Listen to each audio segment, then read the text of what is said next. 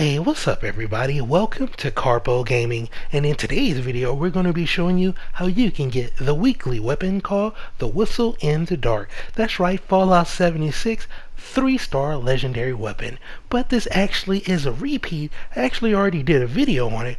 But anyway, you're here. Let's go over everything that you're going to need to do in order to get it. You need to kill a creature while using a stealth boy, destroy a turret while sneaking, hack a terminal at night, and pick a lock at night. And last but not least, take a camera picture of a human like creature at night.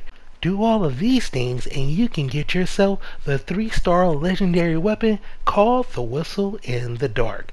Now, like I said previously, I already did a video on this, so right now you should be seeing something pop up on the screen.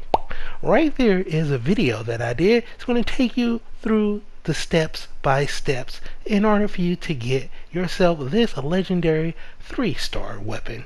Now, you should see something pop up on the screen right now. This is actually the three star legendary weapon that you are going after. It is called a whistle in the dark. It is an assault rifle and it comes with these three perks.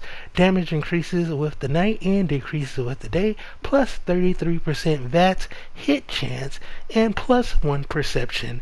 Now, it may not be a great legendary weapon, it may be just scripts, but if you're a collector, go ahead and pick that up, and that's pretty much how you get this 3 star legendary weapon. So, yeah, that's pretty much going to end it for this video. As always, if you are new to the channel, welcome. Don't forget to subscribe, and hey, if you want to help out the channel in a video, you can do so by liking the video if you indeed like the video. Once again, thank you everybody for all your love and support. And as always, I'll be seeing y'all in the next one.